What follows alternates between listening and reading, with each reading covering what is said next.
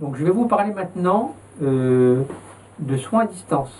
C'est quelque chose que je ne fais pas très souvent, mais il arrive parfois que des gens m'appellent en me disant bah, écoutez, ma mère est à l'hôpital, hein, elle ne peut pas se déplacer, elle est en grande souffrance, est-ce que vous pouvez éventuellement aider? Donc je le fais occasionnellement, pas trop souvent parce que c'est très très fatigant pour moi. Donc je fais donc je vais me projeter à l'extérieur vers la personne. J'aime bien travailler la nuit pendant qu'elle dort parce que ça fait que elle n'est pas en pendant qu'elle est en train de dormir, elle ne va pas être en train de lutter contre des douleurs, elle est en train de dormir.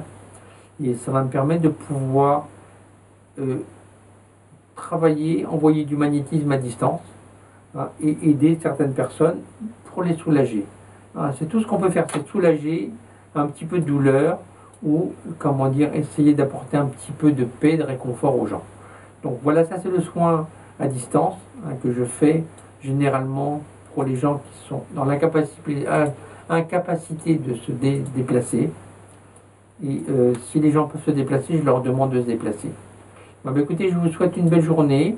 vous pourrez trouver tous nos conseils et puis tout ce que je vous dis maintenant sur notre site www.algomor.com.